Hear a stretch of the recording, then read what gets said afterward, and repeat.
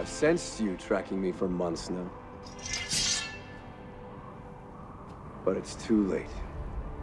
Resurrecting the Warlock Lord is madness. You're sacrificing me to the Dagda Mor. Well, that was perfectly acceptable. I regret what happened to you and my part in it.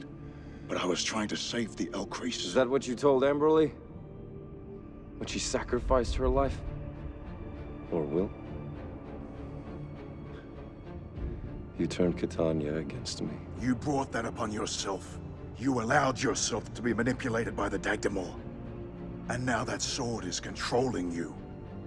It's guiding me, Allanon, to my true potential. I'm gonna learn from the Druid who understood the true power of magic. Power is a curse for those who seek it.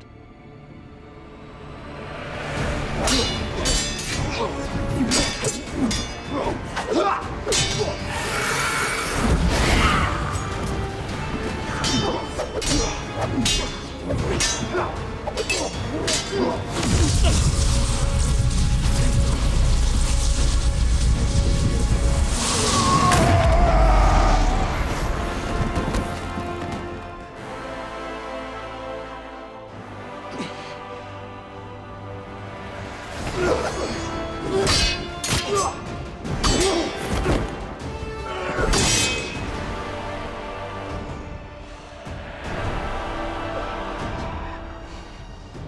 You're gonna die forgotten and alone, Allanon.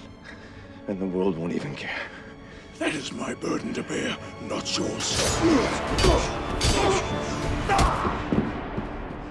Your master needs you now! Drink!